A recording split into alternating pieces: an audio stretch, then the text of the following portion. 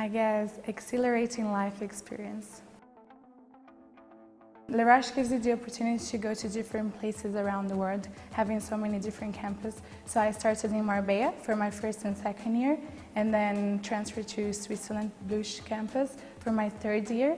And then also for your BBA, you have other opportunities to go to other places. And it's very important in the hospitality industry that you know different cultures and have the opportunity to work in other places as well.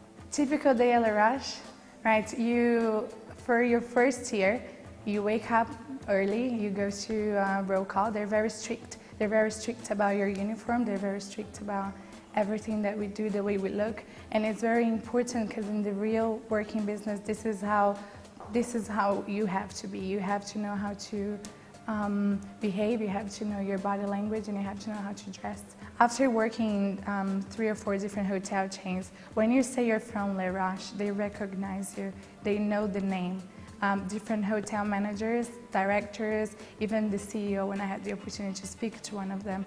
They know Les Roches, they know if you're there, they know you have at least a very, very good base to start and build up your career on it. At the school we have, which I, I was actually very surprised as none of we have this, um, we have our sports and leisure team and then organize activities every day on the week you have different dance lessons, you have different sports lessons. They organize trips as well to go to Italy, Germany, France. Um, they also provide us with uh, culinary experience trips.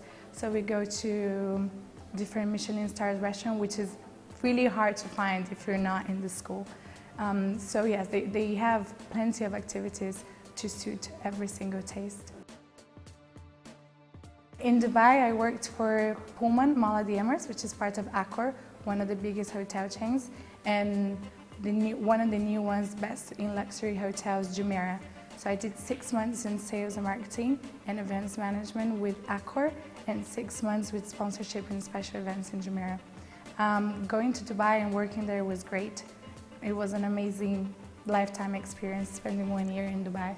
It's definitely a very cosmopolitan city and again, you have so many different cultures. You learn a lot about traditions and Arabic culture, and hospitality is in their tradition. So that's very nice.